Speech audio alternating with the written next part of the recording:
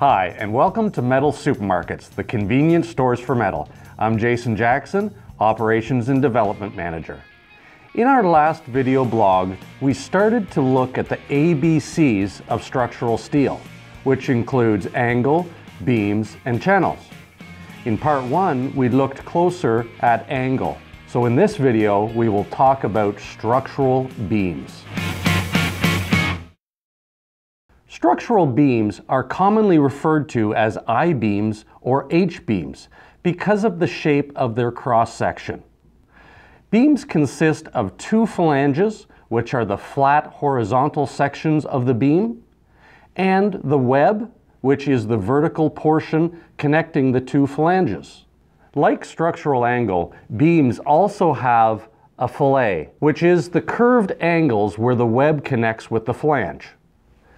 Some beams with a wider flange are referred to as W-beams, universal beams, or rolled steel joists. Beams are typically used in construction for structural support. The web provides resistance to shear forces like breaking or collapsing, while the flanges resist bending movements. When using a beam for structural applications, it is important to have a trained professional determine the size of the beam required to support the load. The important measurements you will need to identify beams are beam depth, which is the distance from the top to the bottom of the beam, flange width, which is the length of the horizontal flanges, flange thickness, which is the thickness of the flange, and the web thickness, which is the thickness of the vertical web. In North America, steel beams are usually specified using the depth in inches and the weight in pounds per foot, which is typically provided.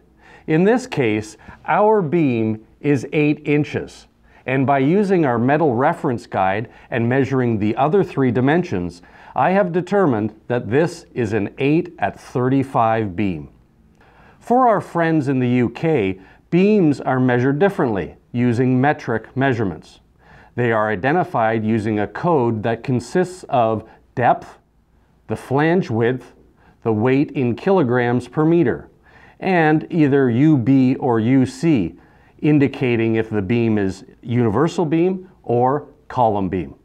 So in the UK, our beam here would be a 203 millimeter by 203 millimeter by 46 kilograms. Hopefully this video will help you the next time you have a project that requires structural beams. Stay tuned for the next part in this video blog series where we will take a closer look at channel.